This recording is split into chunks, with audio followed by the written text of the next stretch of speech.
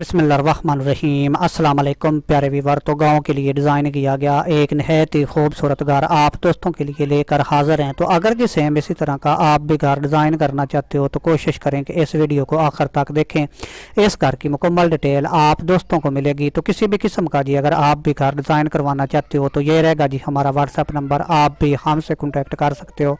تو اگر اس گھر کی مکمل چڑائی کی بات کریں، چالیس فٹ اور جو لمبائی ہے وہ بھی چالیس فٹ کے اوپر مشتمل ہے۔ فرنٹ آپ اس گھر کا مکمل چیک کر سکتے ہو۔ تو اس گھر کے اندر جی تین بیڈ روم کچن، تین باتھ روم آپ کو ملیں گے۔ کس طرح جی فرنٹ پر آپ نے کام کرنا ہے، تین ڈور فرنٹ کے اوپر ڈیزائن کیے گئے اگر پلروں کی مکمل چڑائی کی بات کریں تو تیرہ انچ کے اوپر مشتمل ہے۔ اور جو چاہیے وہ جی سات فٹ یہیں سے لے کر جی آپ نے یہ ڈیزائن بنانا ہے، آپ چیک کر سکتے ہو۔ ایک ٹاک جی ایک سائڈ سے لے کر دوسری سائڈ تک اس کے اوپر ڈیزائن کیا گیا۔ اگر شیڈ کی بات کریں تو دیوار سے جی دو فٹ آگے اس کو نکالا گیا ہے۔ سائڈوں کے اوپر یہ سمپل سا ڈیزائن آپ چیک کریں۔ تین تین بتے فرنٹ کے اوپر ڈیزائن کیے گئے ہیں۔ بیچ والے حصے میں جالی کا استعمال کیا گیا ہے۔ ایک سائڈ کے اوپر جی۔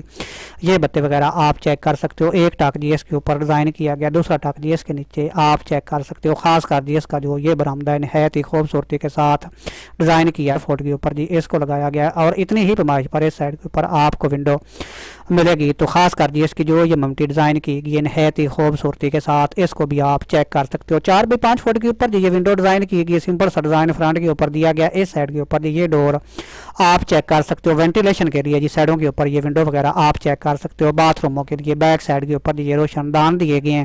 تو چلیں جی ابھی چلتے ہیں اس گھر کے اندر۔ تو بغیر چھت کے جی یہ گھر آپ کو اس طرح نظر آئے گا، آپ جی اس کو مکمل چیک کر سکتے ہو۔ بیک سائڈ کے اوپر جی تین بیڈ روم ڈیزائن کیے گئے ہیں، آپ چیک کر سکتے ہو۔ اس بیڈ روم کی جو مکمل چڑائی ہے، بارہ فٹ لمبائی، تیرہ فٹ تین انچ کے اوپر مشتمل ہے۔ سیم اتنی ہی پیمائش پر اس سائڈ کے اوپر جی یہ بیڈ روم ڈیزائن کیا گیا۔ تیسرا بیڈ روم جی بیک سائڈ کے اوپر آپ کو ملے گا، جس کی یہاں سے لے کر یہاں تک اگر مکمل چڑائی کی بات کریں، تیرہ فٹ اور جو لمبائی ہے وہ بارہ فٹ کے اوپر مشتمل ہے۔ اس سائڈ کے اوپر جی یہ پہلا باتھ روم آپ چیک کر سکتے ہو۔ جو چار بائی سات فٹ چھ انچ کے اوپر ڈیزائن کیا گیا۔ اس کے آگے یہ ڈریسنگ ایریا آپ چیک کریں۔ اتنی ہی پیمائش پر اس سائڈ کے اوپر آپ کو باتھ روم ملے گا۔ اس کے آگے جی یہ ڈریسنگ ایریا ڈیزائن کیا گیا۔ خاص کر جی اس کے آگے یہ کچن آپ چیک کر سکتے ہو جو آٹھ بائی بارہ فٹ کے اوپر مشتمل ہے۔ باقی اس کے آگے جی یہ ہال ڈیزائن کیا گیا، جس کی یہاں سے لے کر یہاں تک اگر مکمل لمبائی کی بات کریں چودہ فٹ ہے۔